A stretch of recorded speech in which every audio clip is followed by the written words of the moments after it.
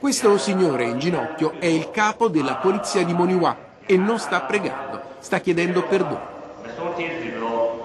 Chiede perdono per le colpe della polizia, per aver malmenato studenti e lavoratori durante una manifestazione, per aver alzato le mani anche contro i monaci.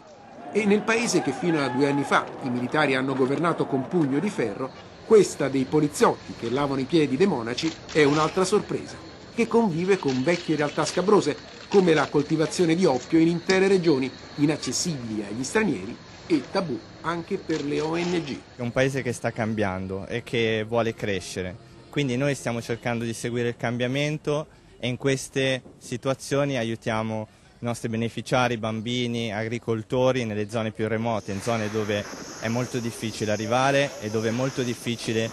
far capire alla gente chi sei e che vuoi fare qualcosa per loro.